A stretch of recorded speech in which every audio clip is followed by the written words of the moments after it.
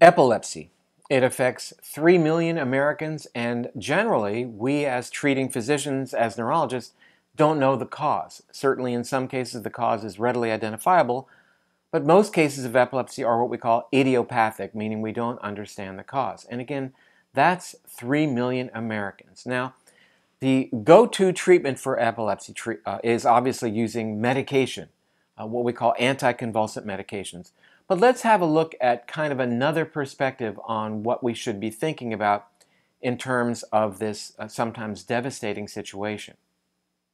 This is a study published in the journal Neurology, a very well respected peer reviewed journal, that uh, describes the case of an individual, 30 year old man, who has a headache, a headache history for two years and also what are called refractory seizures, meaning that despite giving this gentleman uh, seizure medications, his seizures continued.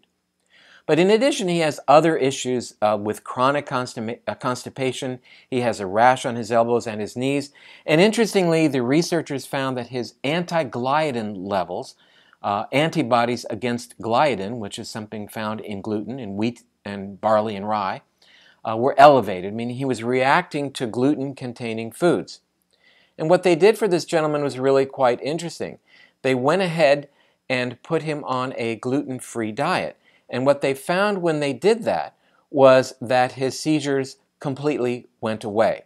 So not only did his seizures go away, uh, but his blood work actually normalized as well. Very interesting, giving a gentleman with a seizure disorder a gluten free diet and his seizures went away. And here's another case of a 23 year old woman who has seizures for 11 years, also called refractory seizures, meaning that nothing could help her in terms of pharmaceuticals. They put her also on a gluten free diet, and her epilepsy went away. Well, the reason we're having this discussion today is because of this recent article that appeared in the journal Neurology calling for us to look at treatment of epilepsy in a different way. The study is called Epilepsy Surgery Trends in the United States 1990 to 2008 again published in the journal Neurology, stating, and I quote, temporal lobectomy, and that means taking out the temporal lobe of the brain, continues to be heavily underutilized as a treatment for epilepsy. Patients who are medically refractory after failing two anti epileptic medications should be referred to a comprehensive epilepsy, epilepsy center for surgical evaluation.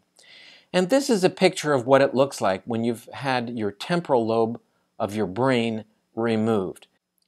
So, what the study is saying is that if you are refractory, meaning that you're still having seizures uh, after two medications have been tried, then you should be referred to a center to have your temporal lobe of your brain removed. Now, I opened this video showing you cases of patients who had gluten sensitivity uh, whose epilepsy resolved when they simply went gluten free. Let's take a look at another study. This is a report called uh, Gluten Sensitivity from Gut to Brain, written by a British researcher named Dr. Marios Hadjivassiliou, published in the journal Lancet Neurology. And he tells us that most patients who present with neurological manifestations of gluten sensitivity may have no gastrointestinal symptoms. And what that means is basically that we should always have a high index of suspicion for gluten sensitivity, even if there are no gastrointestinal issues. My point is this that prior to taking out somebody's temporal lobe, what would be the harm of trying that epilepsy patient on a gluten free diet? At the very least, you'll reduce inflammation, they'll feel better, they may lose a little weight, their headaches may improve, their cognitive function may very well improve as well, and as we've now learned, it may actually help their seizure disorder. Why not give it a try? I'm Dr. David Perlmutter.